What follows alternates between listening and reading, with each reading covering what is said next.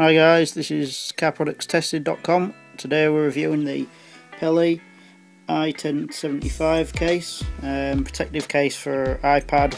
It's ultra tough, it's waterproof.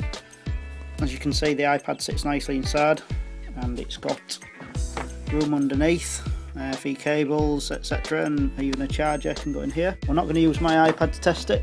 What we've got is a little bit tacky but it's the same width as the iPad. We've put a bulb in the middle. The bulb will sit nicely in here, this section, and um, it's the same thickness as the iPad, and as you can see, it'll fit nicely in there. So we know if it flexes too much, it'll break.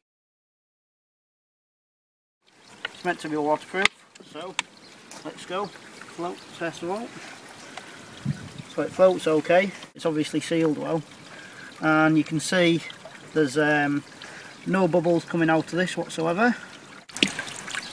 Right, so let's open it. Zero water, apart from a bit around the seal. Um, so have, well, excellent. Next test, we're going to bury the iPad. Okay, now let me dig it back up. Oh, I may have hit it just then, and again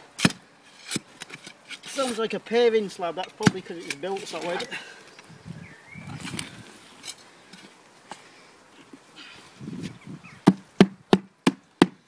Actually the spade hit that quite hard and it's not really gouged it much which is good.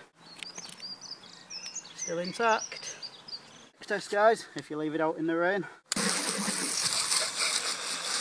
Sweating it right at the seals on the edges here. And also wet right underneath. So definitely get the seals. Um, so let's have a look inside now. See what we've got. Right, it's all fine.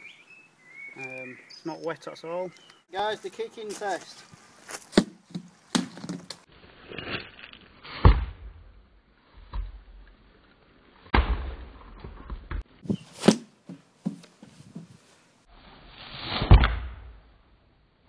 And have a look at it.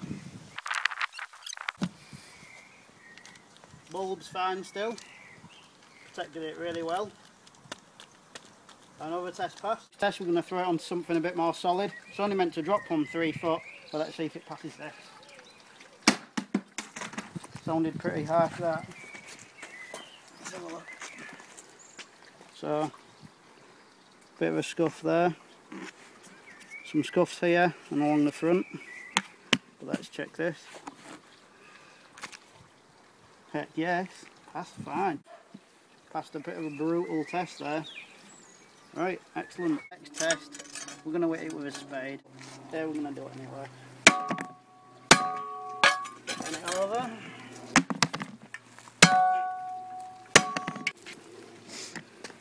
I'm fearing the worst. still really well sealed. You could hear the suction just then and it's fine. I was quite surprised about that actually, but it's fine. That's a spade test passed.